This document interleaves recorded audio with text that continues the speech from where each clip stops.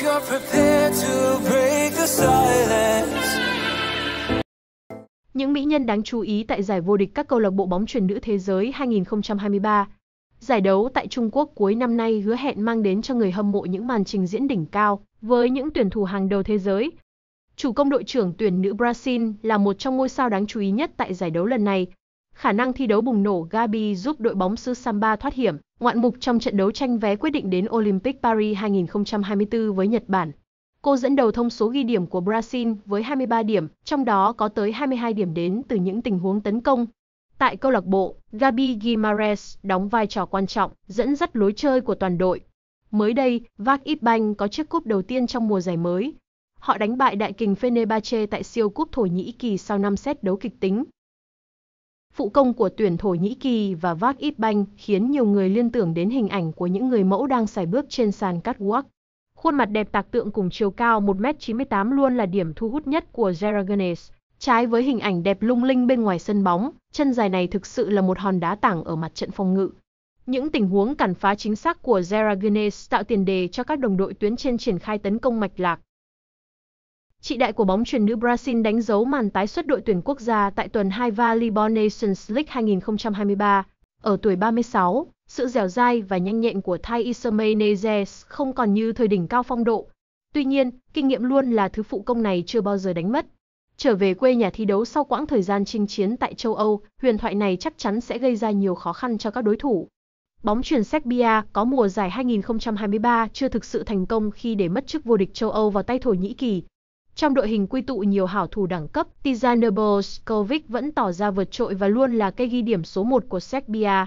Tại chiến dịch vòng loại Olympic Paris 2024, đối truyền 1m93 này có trung bình 18.43 điểm trên trận, với hiệu suất tấn công vô cùng ấn tượng 51.47% trong cả giải đấu. Trận đấu với đối thủ cạnh tranh trực tiếp Dominica, Boskovic ghi tới 32 điểm. Sự nguy hiểm của quái kiệt bóng truyền Serbia khiến đội bóng nào cũng cần phải dè chừng. Trần Thị Thanh Thúy Việt Nam trên Sports Center, một Trần Thị Thanh Thúy đang là vận động viên bóng chuyền nữ sáng giá nhất của Việt Nam cho đến lúc này. Đội trưởng bóng chuyền nữ Việt Nam với chiều cao khủng 1m93 mang đến nhiều hy vọng về thành công cho đội tuyển ở các giải đấu quốc tế. Cô luôn giữ trọng trách ghi điểm, giải tỏa áp lực cho các đồng đội ở mặt trận tấn công trong mùa giải 2023 với đầu tàu là Thanh Thúy. Bóng chuyền nữ Việt Nam xuất sắc lọt vào top 4 của hai giải đấu lớn cấp châu lục là giải bóng chuyền nữ vô địch châu Á và Đại hội thể thao châu Á. Đây là những cột mốc lịch sử của bóng chuyền nữ Việt Nam.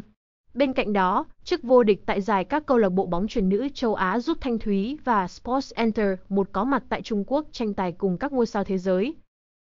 Hoàng thị Kiều Trinh Việt Nam trên Sports Enter một đối truyền số một Việt Nam đang thể hiện sự tiến bộ rõ rệt sau quãng thời gian ăn tập trên tuyển quốc gia. Giới chuyên gia nhìn thấy được khả năng của Kiều Trinh qua những trận đấu gặp các đối thủ lớn như Nhật Bản, Trung Quốc, Thái Lan. Tuy nhiên, khi chạm trán của tên tuổi đẳng cấp thế giới, Hoàng thị Kiều Trinh cần phải cải thiện nhiều kỹ thuật cũng như cách tiếp cận trận đấu sao cho phù hợp. Ngay sau ASEAN 19, tuyển thủ quốc gia này lập tức hội quân cùng Bộ Tư lệnh Thông tin Trường Tươi Bình Phước tham dự giải U23 vô địch quốc gia 2023.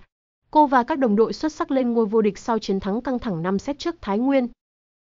Melissa Vargas là cái tên được săn đón bậc nhất làng bóng truyền thế giới vào lúc này. Tuyển thủ này trải qua một năm thi đấu ấn tượng khi liên tục thâu tóm các danh hiệu lớn ở cấp độ đội tuyển. Thổ Nhĩ Kỳ thể hiện sự thống trị với vị trí số 1 thế giới cùng thành tích bất bại tại vòng loại Olympic Paris 2024. Melissa Vargas thi đấu cho câu lạc bộ Thiên Tân của Trung Quốc dưới dạng cho mượn từ câu lạc bộ Fenerbahce. Tại xứ đại lục, cô giúp đội bóng này giành chức vô địch quốc gia lần thứ 15 trong lịch sử câu lạc bộ, qua đó nâng cao hơn nữa thành tích vô tiền khoáng hậu của Thiên Tân tại giải đấu quốc nội.